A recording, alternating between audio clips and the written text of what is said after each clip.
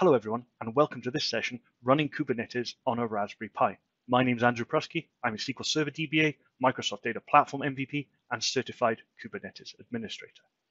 Now, I originally ran through all this to get Azure SQL Edge running on a Kubernetes cluster that was hosted on Raspberry Pis, and I've blogged about it on the link there. If you want to check that out, you are more than welcome. But let's go ahead and let's start on how to configure our Raspberry Pis. The first thing we need to do is flash the OS. So once you get your hands on a Raspberry Pi, plug it into your network, don't power it on yet, grab your SD card and grab a IMG file from the Ubuntu site. Now you can pull that down, and once that's pulled down, you can flash your OS. Now I'm using Rufus here, but Etcher would work as well. Select the IMG file, hit start, let that complete. And once that's complete, you can plug your SD card into your Raspberry Pi and power it on. Now, I'm going to have a short screenshot here of my Raspberry Pi cluster. I went with a four node cluster, one control plane and three nodes, but you can do all of this on just one Raspberry Pi. So let's have a look at firstly configuring our control plane node. So it's up and running, and there's a few steps that we need to do to get this working. We need to set a static IP address.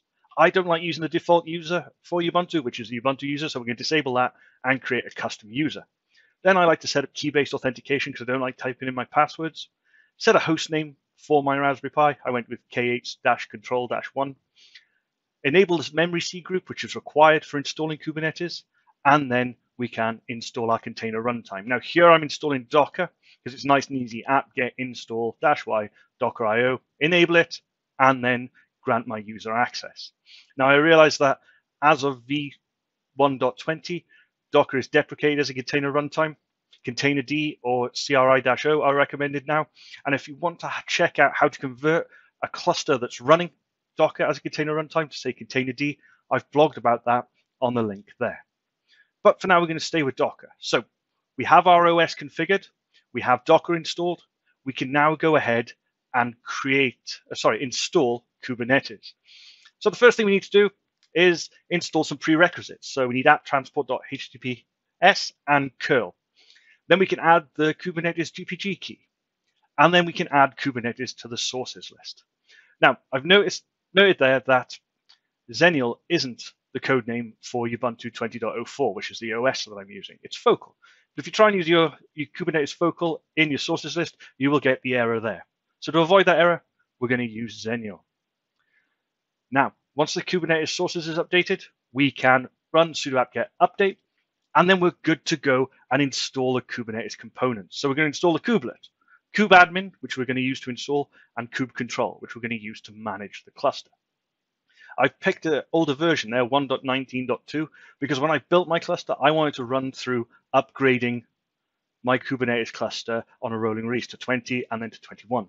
But you can definitely, definitely just go ahead and use the latest version. So we install those and then we hold those components to prevent them from being accidentally upgraded. So we have the Kubernetes components installed on the box. Let's go and actually install Kubernetes itself using kubeadmin. And it's nice and simple. We can just say sudo kubeadmin init and then tee out file so we can grab the output. And we should then get, after a couple of minutes, a message along like this. Our control plane has been initialized successfully, and we've got some error, um, sorry, not error messages, some messages here to say what we need to do after the install. So we need to create a .kube file in our home directory, so we can drop a config file there and connect into our cluster.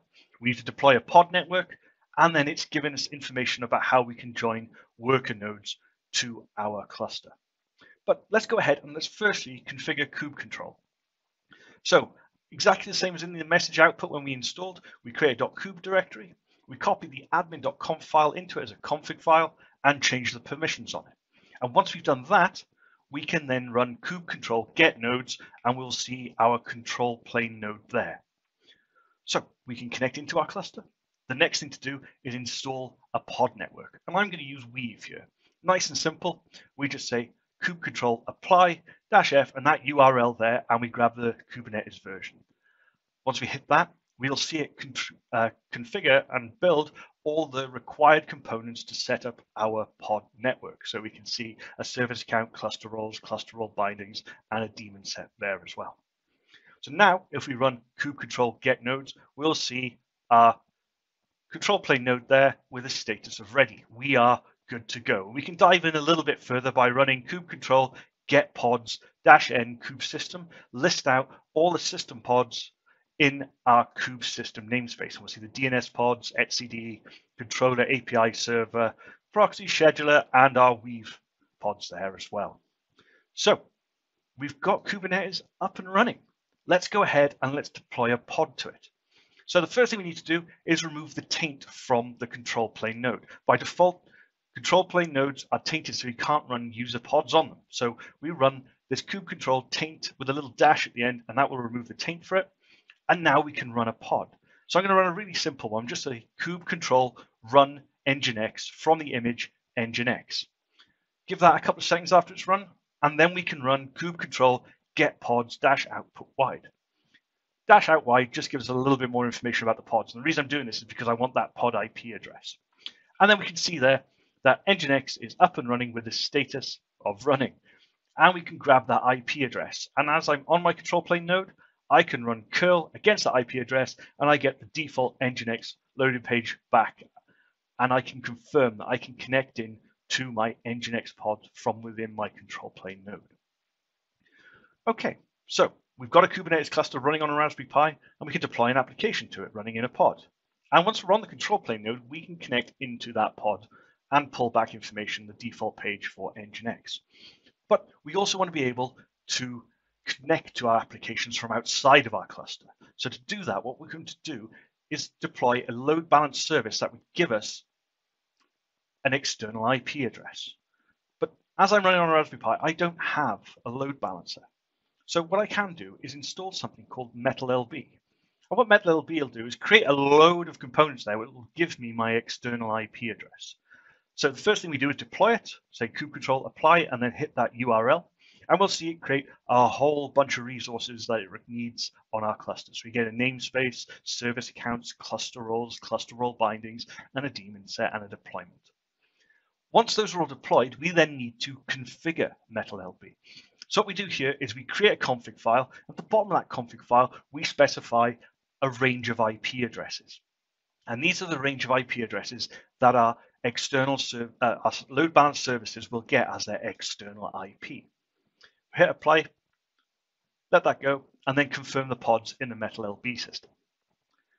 So if we have a look here, we'll see both pods have a status of running. And now we can test creating a load balance service and see if it gets that external IP. So we can expose our pod, type of load balancer, a port and a target port, and then we confirm that service, kube control get services. And if everything's gone well, we should see that service have an external IP, which we can then jump out of our cluster, go to somewhere that's outside of our cluster, run a curl against that, and hopefully if everything's working, we should see the default Nginx page. So we have our Kubernetes cluster, we've deployed a pod, and by using MetalLB, we can get an external IP address on a load balance service, which we can use to connect applications running in our cluster from outside of our cluster. Okay, so that's pretty good. We can now go ahead and if we want to expand our cluster, we can go ahead and start joining nodes to our cluster. So we need to configure the OS and install Kubernetes exactly the same way as we did on our control node.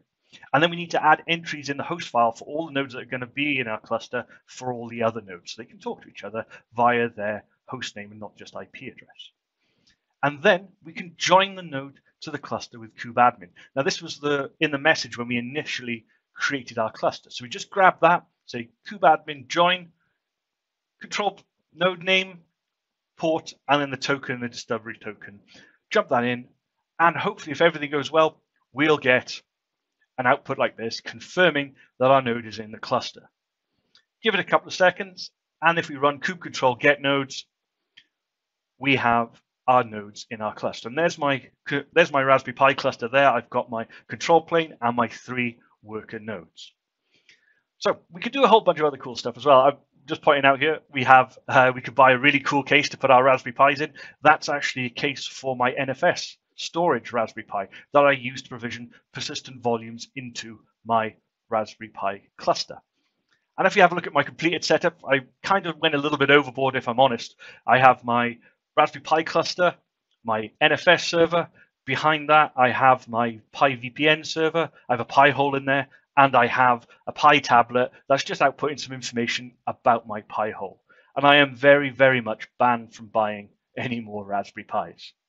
Anyway, I hope that's been helpful. If you have any questions, please contact me. My name's Andrew Pruski at DBA from the Cold on Twitter.